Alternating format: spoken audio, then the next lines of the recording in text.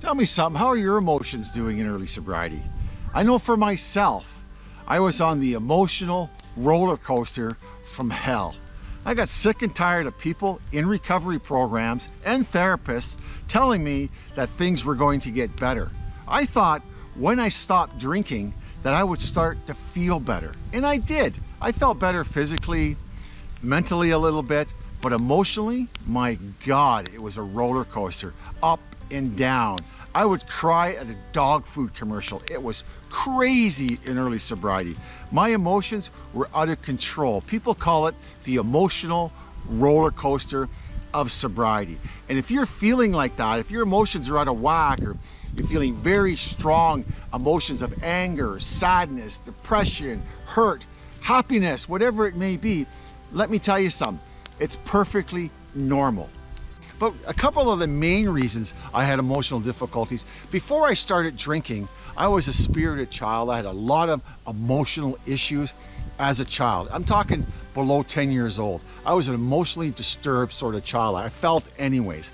I was always a problem at school. I had a lot of issues going on. I couldn't read and write properly. I had a lot of self-worth issues. I had a lot of hurt in me even before I picked up the drink in a, in a, you know, in a very young life. I started to drink when I was 13 years old. I started to drug around the same time. I did not deal with any emotions whatsoever. I used drugs and alcohol to suppress my emotions. And because I drank at such a young age, I had no emotional maturity. I did not develop whatsoever.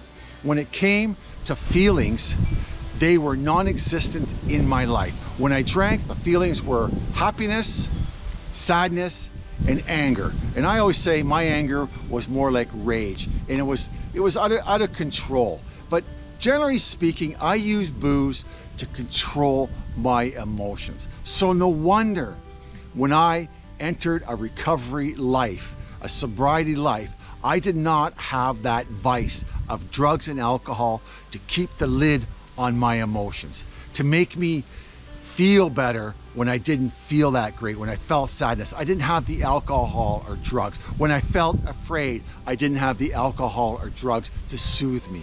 When I felt that pain or when I felt that anger or I wanted to be happy, I didn't have the drugs and alcohol. So when it came to sobriety and that, when all that, those issues and that stuff that I just talked about, it all came up it all bubbled out. I couldn't control it. And I feel that's why a lot of people in early sobriety have a lot of relapse and a lot of difficulties because understanding your feelings and what is going on, having some sort of knowledge of what is going on is very empowering. The reality of it is most of us feel emotional difficulties on some level once entering a recovery program, recovery life. Most of us do. But myself, I experienced emotional difficulties in the extreme. I really did. I had a hell of a time with it. And I just want to point out a few things I did in my recovery that helped me a great deal to deal with my emotional roller coaster or the ups and downs of my emotional life. The first thing I did was I went to 12-step programs. I went to 12-step programs a lot and I talked about the way I felt, I talked about how I saw life on life's terms. I just talked about myself in general. And I also learned a feeling vocabulary to start to learn the way I felt and trying to figure out why I was feeling these feelings. And but the biggest part was is learning to vocalize or say the way I felt. The second thing I did was I got a sponsor in a 12-step program. This sponsor helped me a lot. His name was Jim. He is still my sponsor. He spent countless hours with me talking about the way I felt about things, the way I saw things, and just helping me out in my life general, generally one day at a time. He was a big, big help in my sobriety and still is. Finding a sponsor in sobriety can help you out immensely.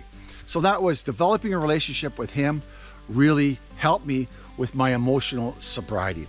Another thing I did that was, I loved it anyways, I loved going to therapy, is I went to counseling. I went to counseling for about three years and I talked about past events, childhood issues, relationships that didn't turn out, talked about mom and dad, things like that. Just things that tra uh, traumatized me as a child or as a teenager, just the events in my life that were never dealt with. And that really helped with my emotional well-being. It really did. And the fourth thing I did is I got off my ass and I participated in my well-being. I really did.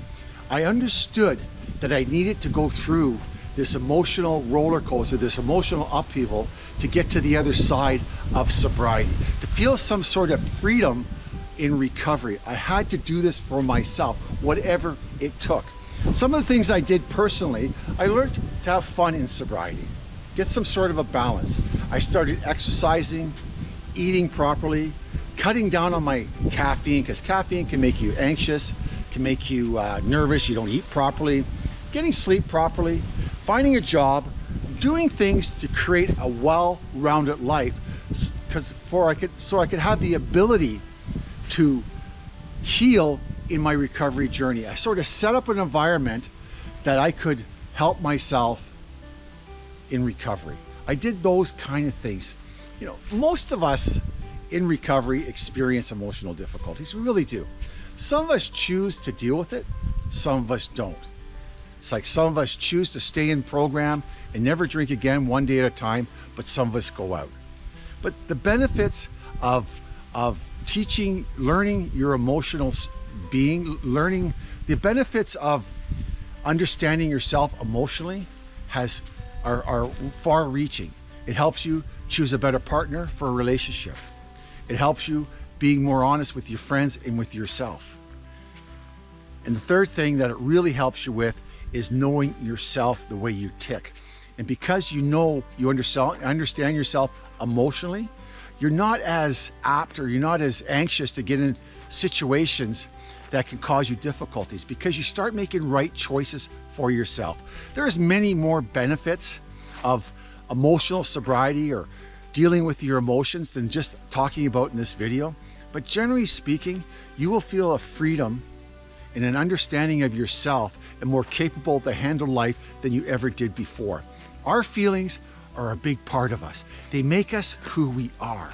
They really do. And understanding your feelings and learning to express your feelings will give you a better understanding of yourself and the world around you. There are so many gifts that you get from that, but we need to understand that we need to go through it, sort of tear the band-aids off and go for it. Yeah, it's painful, it's hard, but I'm gonna do it because I'm gonna be sober. I'm gonna get through this. That's the way I thought. And today I have many years of sobriety. A life, life is emotional, but the upheavals and the, the crazy waves of emotion don't appear that often. They're still there because we're emotional beings and they'll never go away, but I have a clear understanding of myself most days. I know how to express myself when it comes to my feelings. And most of all, I just love my recovery. And if somebody would have told me that life was going to be like this a number of years down the road, I would not have believed them. But another thing I like to, I'm, I'm sort of going on right now.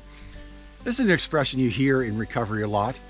Feeling comfortable in your own skin. And you know something? That's the way I feel these days. I feel comfortable in my own skin. And I just want to say one more thing. Thanks a lot for stopping by. My name is Terry G. This is an alcohol-free life channel where we learn to live sober one day at a time. If you like what you heard, leave a comment. If you didn't like what you heard, leave a comment. But can you all do me one favor? Can you subscribe to my channel? I'd really appreciate it. And what else am I going to say? I'm going to say stay silver, stay safe, and I'll see you next time. Thanks for stopping by. Peace out. God bless. One day at a time. And ciao for now. Bye-bye.